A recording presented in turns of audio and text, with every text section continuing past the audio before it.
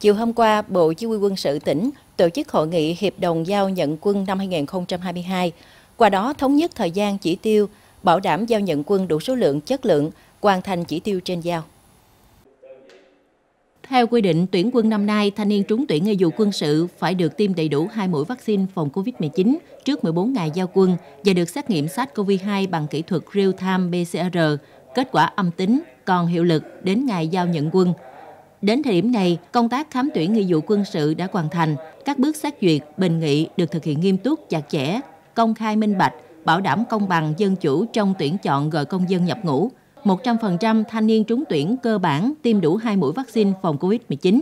chuẩn bị tiêm mũi 3. Theo kế hoạch, từ nay đến ngày 28 tháng 1, các đơn vị sẽ hoàn tất việc phát hiện gọi 100% thanh niên trúng tuyển nhập ngũ.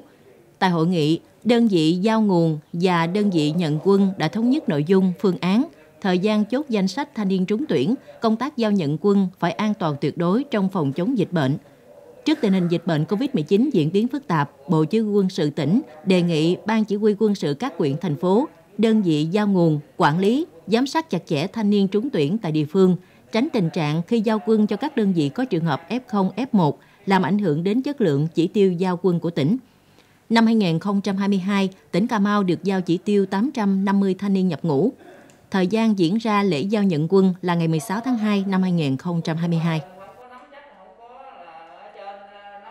Mới đây, Ủy ban Nhân dân tỉnh Cà Mau đã ban hành quyết định quy định tiêu chí xác định đối tượng hoạt động, điều kiện hưởng chính sách hỗ trợ theo quy định tại khoản 21, điều 1, quyết định số 33 ngày 6 tháng 11 năm 2021 của Thủ tướng Chính phủ trên địa bàn tỉnh Cà Mau.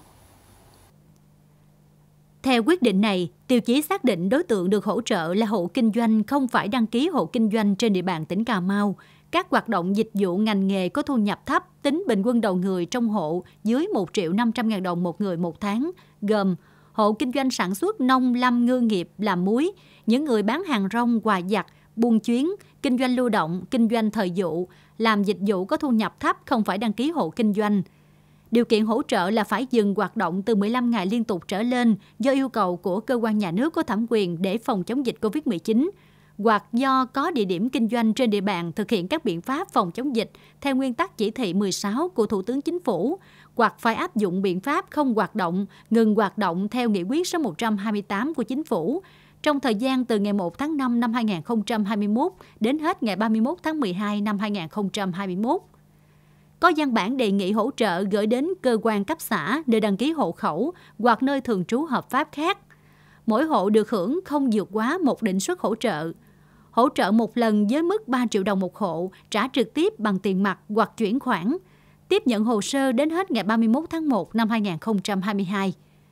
Nguyên tắc hỗ trợ và điều kiện loại trừ hỗ trợ là đảm bảo tiêu chí xác định đối tượng, điều kiện hỗ trợ công khai minh bạch, không để trục lợi, lợi dụng chính sách. Quyết định này không áp dụng đối với những đối tượng đã được quy định tại quyết định số 1502 ngày 9 tháng 8 năm 2021 của Ủy ban nhân dân tỉnh, quy định đối tượng mức chi hỗ trợ người dân gặp khó khăn do ảnh hưởng của đại dịch COVID-19 trên địa bàn tỉnh Cà Mau và quyết định số 1712 ngày 4 tháng 9 năm 2021 của Ủy ban nhân dân tỉnh bổ sung đối tượng hưởng chính sách hỗ trợ tại khoản 1 điều 1 quyết định số 1502.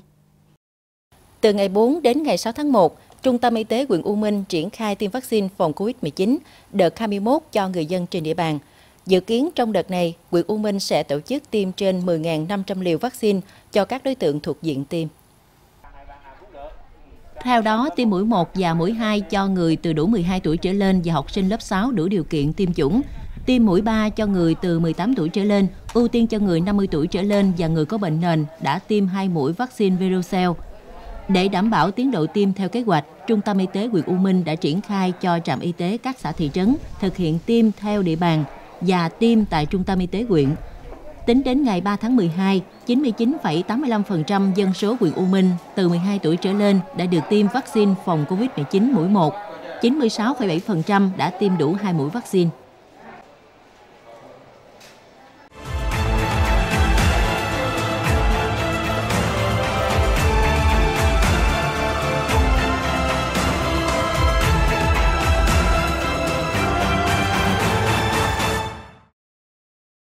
Hiện nay lượng vaccine được cấp chưa tiêm của tỉnh Cà Mau là 191.695 liều. Do đó, Chủ tịch Ủy ban Nhân dân tỉnh yêu cầu Sở Y tế, Chủ tịch Ủy ban Nhân dân các quyện, thành phố để nhanh tiến độ tiêm vaccine, hoàn thành việc tiêm số lượng vaccine nêu trên trước ngày 6 tháng 1 năm 2022. Chủ tịch Ủy ban nhân dân tỉnh chỉ đạo tiếp tục trà soát cập nhật danh sách số lượng các đối tượng chưa tiêm đủ liều cơ bản vaccine phòng COVID-19. Trong đó làm rõ số người chưa tiêm do chống chỉ định, số người không đồng ý tiêm, số người tiêm chưa đủ liều và các đối tượng khác báo cáo về Sở Y tế trước ngày 10 tháng 1 năm 2022. Ngoài ra, trên cơ sở lượng thuốc monubiravir và Bavipiravir được cấp, Sở Y tế khẩn trương phân bổ ngay cho các cơ sở điều trị, các xã phường thị trấn để điều trị F0 phối hợp với các huyện Trần Văn Thời, Cái Nước, Đầm Dơi, Nam Căn ra soát, xây dựng kế hoạch bổ sung điều trị bệnh nhân COVID-19 tầng 3 tại các cơ sở điều trị tuyến huyện. Thưa quý vị, theo hướng dẫn mới nhất của Sở Y tế tỉnh Cà Mau, đối tượng F1, các trường hợp F1 trong thời gian cách ly, theo dõi sức khỏe tại nhà, nơi lưu trú theo quy định thì tự thực hiện test nhanh 3 ngày một lần. Đối tượng F2 trong thời gian theo dõi sức khỏe theo quy định cũng tự thực hiện test nhanh với tần suất 3 ngày một lần. Đối với người tham gia chống dịch trực tiếp, thực hiện test nhanh mẫu gộp 4 năm với tần suất 3 ngày một lần. Các cơ sở khám chữa bệnh định kỳ 3 ngày một lần tổ chức test nhanh mẫu gộp 4 năm cho cán bộ, nhân viên y tế, người lao động và sàng lọc người bệnh ngoại trú cho các trường hợp bệnh nghi ngờ bằng test nhanh mẫu gộp khi chuyển vào điều trị nội trú, xét nghiệm test nhanh SARS-CoV-2 khi chuyển tuyến điều trị. Đối với vùng phong tỏa, thực hiện test nhanh mẫu gộp 4 năm với tần suất 3 ngày một lần cho đến khi kết thúc phong tỏa. Xung quanh dùng phong tỏa, người dân tự thực hiện test nhanh với tần suất từ 5 đến 7 ngày một lần. Đối với người lao động tại trung tâm thương mại, chợ, siêu thị, nhà máy, công ty, xí nghiệp, cơ quan, đơn vị, tự thực hiện nghiêm việc tổ chức test nhanh mỗi gộp 4 năm cho người lao động.